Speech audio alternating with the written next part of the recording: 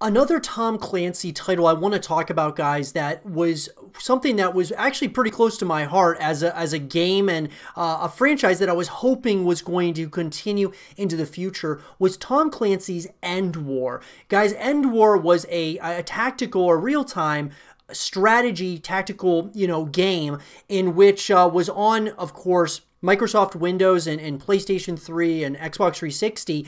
And it was a game, guys, that was had so much hype built. I remember back when it came out, there was just a lot of hype that was being built around this game. And then, really, what ended up happening was, guys, it was an ultimate failure uh, as far as like commercially, and uh, a sequel was being made. And then, of course, that ended up not going over well, as uh, of course, the commercial failure that was End War ended up happening. Uh, we ended up never getting a sequel. But I wanted to talk about where is End War 2 at this point? Is this a, a game that we could see a sequel of? Because what I think we need to do is we have to talk about what happened happened to End War in order to tell us whether or not we'll ever see a sequel. So let's talk about it. So guys, uh, Tom Clancy's End War, as I said, uh, was a game that was designed, of course, by Ubisoft Shanghai, and it was uh, a game that came out, of course, in 2009 for Microsoft Windows. And here's here's one thing I want to, I, I definitely want to mention, guys is that this was a game that originally came out in 2008, November of 2008, on the Nintendo DS, PlayStation 3, PlayStation Portable, and Xbox 360, uh, which why it came out on those and not on PC immediately with all these other platforms is beyond me. And I think that was step number one to this actually being a commercial failure because I think that with a game like this, that's a strategy game, we've seen other games try to do this as well, like Halo Halo Wars, and uh, there's been other games, guys, that come to consoles that are trying to be a real time strategy game on consoles, which is a great concept, great idea. But I don't think that it should only be on the on like on an Xbox or on PlayStation and such. Those games also deserve to be on on the PC and at launch, not necessarily months later, because if you wait months later, it might be too late. And in this case, it certainly was. Look, guys, this was a great, uh, in my opinion, I thought it was absolutely an awesome idea of a game. This World War III concept, you you uh, choose between um, your different factions and such. Very much so an Ubisoft game, very much so a, a Tom Clancy uh, game. And look, at the end of the day, there were so many really cool concepts here that that that were that were within this game. Like, for example, the voice interface. So, Tom Clancy's End War offers the player a voice interface. Instead of controlling the game via mouse and keyboard, the player may optionally issue commands using a microphone.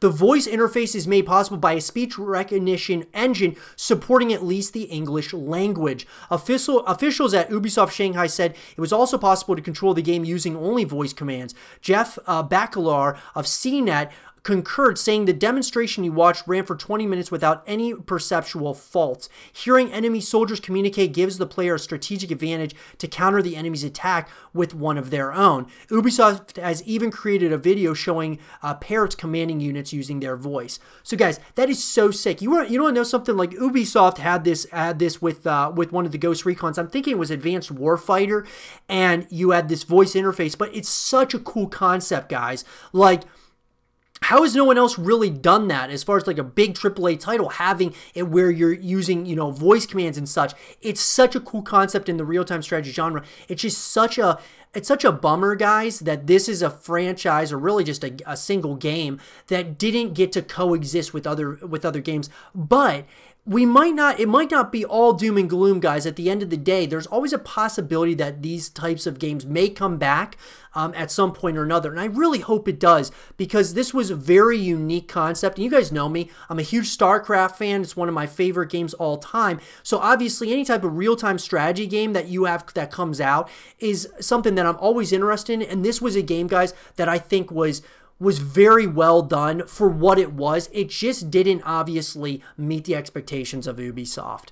Now, I think the marketing was incredible for for for this for this game in my personal opinion. I thought I think it was they did an incredible job marketing. It just didn't hit well. Now as far as the reception goes, guys, okay. So End received mixed to positive reviews. The Guardian gave the game a 4 out of 5. It was praised for its highly addictive solo play. The game comes into its own with the massively multiplayer online theater of war, while being docked somewhat for occasional voice recognition blip. The website GameTrailers.com gave EndWar a 9 out of 10, saying that it was console strategy done right. IGN rated EndWar as an 8 out of 10, taking marks away for the uninspired single player campaign, but still saw it as a more than solid RTS.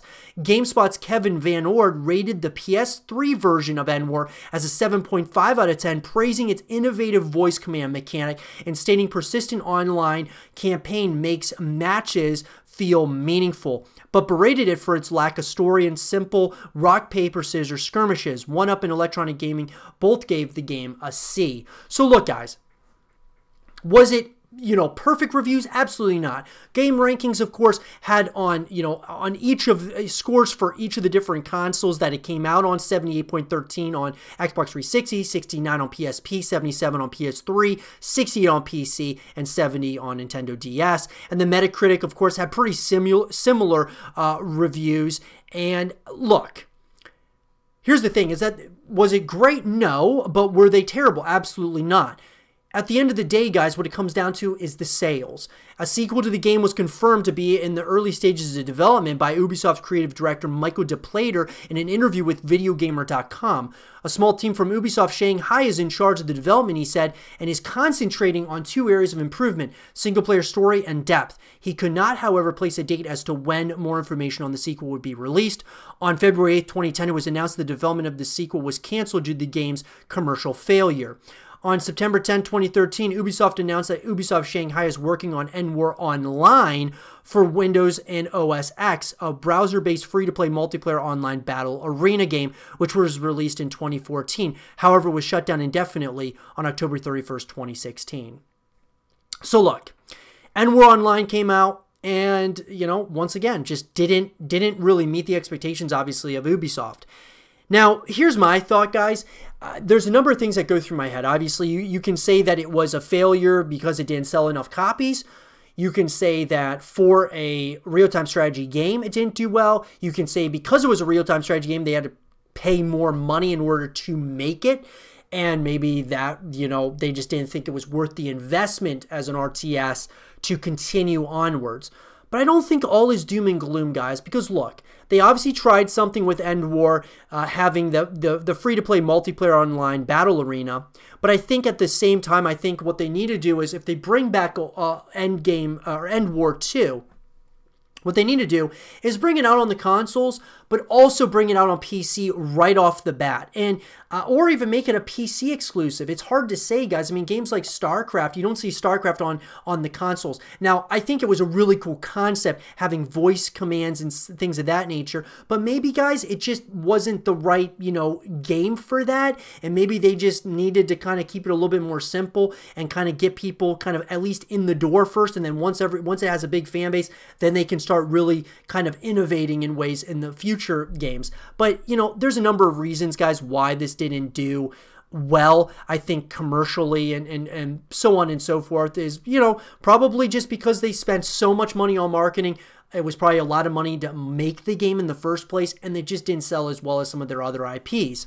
Now, an article that was written by Jack Trumbull um, of Wargamer if you suddenly won the lottery after going and buying yourself a new house and a new car and all the other necessities that come with being very rich, you would set out for the nicest restaurant in town and get the most extravagant dinner possible. You would likely eat there several times a week, having found luxury and savoring it as much as you can. But after some time, the food will lose its novelty. The filet mignon is not as exciting as the 15th time around. The lobster tail doesn't melt in your mouth quite the way it used to, and you begin to realize you've lost your taste for champagne.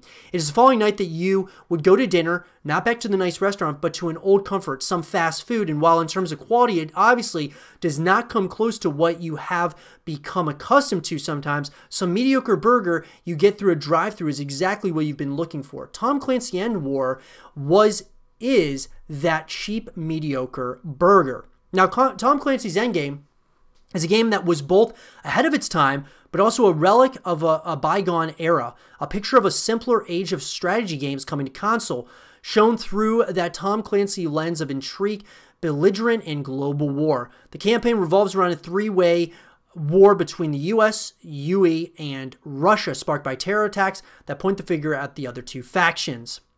And the real appeal, uh, really real appeal, lies within these battles commanding your army through voice commands.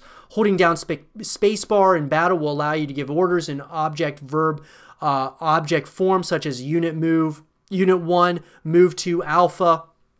Relatively simple stuff uh, even 11 years after the initial release. But as far as I know, EndWar faced and still faces zero competition in the field of games that involve shouting stuff at your digital army, and they actually uh, with and they actually did it. If it sounds gimmicky, it certainly is. But being able to direct tank columns to intercept an enemy APC group, engineers to seize an objective, and satellite to launch a kinetic missile at a, at a target is incredibly satisfying. And yes, you read that right about the kinetic missile. EndWar teeters on that fun balance of military futurism and absurdity. So the me mechanics of the game should be familiar to anyone who has played an RTS or turn-based strategy game in the last 15 years with rock, paper, scissors formula of tank beats APC beats helicopter beats tank. So look, guys, at the end of the day, what he's saying is, is that this was a game that really had so many uh, so much possibility and potential there, and for it to have just been uh, a commercial failure kind of you it begs you to wonder what happened here. And what I'll tell you guys, another thing that that very well might have happened at the end of the day, and we really didn't talk much about this, but when this game released in 2008, November 4, 2008, you're talking, guys, you're going right into a recession at this point because of the, the stock market crash, of course, that ended up happening because of the housing market falling through. And this was a time period where people were probably very cautious about where they were spending their money, and EndWar just so happened to be that AAA title that a lot of people decided not to buy. But could another chance of this game coming around at some point, that being like EndWar 2 or a free EndWar game, I think it actually might do a little bit better.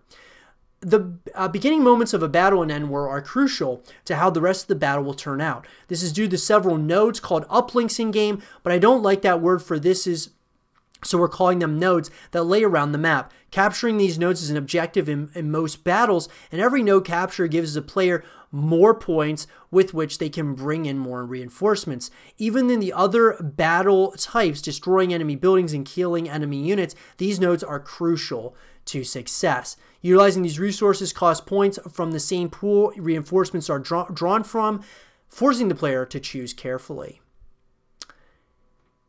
And at the end of the day, guys, Endgame is vaguely reminiscent of Slith Slitherine games in the structure of how the campaign map gameplay goes, but more abstracted. There are no buildings to recruit units from, and your army will always be at full strength. Any units that are wiped out in a battle will immediately be replaced by a rookie unit that won't be as good as whoever they are replacing. After you spend your time looking through upgrades for your units, generally things like an increased defense, longer range, or getting an active ability for one of your unit types, you are shown the campaign screen where you select one of several battlegrounds to fight at. And the game we deserved, but not the game we needed. Endgame was a pretty simple game, all things considered. Perhaps a bit too simple for PC. At the time it released, you could tell concessions were being made for the console audiences. It didn't offer a crazy revolution. The RTS and the battles are decent, but not fantastic. The voice command system is fun, but not exceptional, and lacks some functionality a good mouse and keyboard can provide. The story is fine enough of a setup, but you're not playing this game for the story. You're playing it because it's cheap, because it's got a fun gimmick, and because it doesn't have too much distracting distracting you from what makes it good. Tom Clancy's End War is a fast food burger, and sometimes it's exactly what you want. So, look, at the end of the day, guys, this was a game that I believe had so much potential to be something really special moving forward into the future. And so, where is Endgame 2 at this point? Well, guys, there's no indication that they're planning on making another Endgame sequel. However, if you're a big fan of this franchise, guys, you should do what I say to pretty much every community out there that wants a sequel made is to tell the developers that you want that if enough people are building movements around these games to get a, a specific game, whatever it might be, an end game uh, or end war 2 uh, case here, I keep on saying end game. I keep thinking about the Avengers. But End War 2, if you want to see that made, guys, you have to state that to the developers. And you got to build movements around it, right? And look, the thing about it is is that you might actually be surprised at what developers will do when they see that there's a lot of people that want something specific in the community. End War is a game, guys, that should coexist with other games in gaming. It just should. It should be in the RTS genre. Now, should it be a PC game only? Maybe. Should it just be on consoles? Maybe. But I think that it, at the end of the day, if you want uh, uh, End War 2 to come out, it needs to be specific to PC. Uh, that's first and foremost. And then if it comes on consoles later on, sure, but make it specific to PC at first because that is going to dictate a lot of you know how difficult it is of a game and all of those things. And if it's uh, got it's got that appeal then of course they can start moving around to maybe doing it put releasing it on consoles making it a little bit easier on consoles or whatever it might be right? Having crossplay and things of that nature maybe making it free to play would be absolutely amazing. But let me know guys in the comment section below what do you guys thinking think happened to End War, and would you want to see an End War 2? Let me know, like I said, and for more End War 2 content and videos, stay here with Zro TV.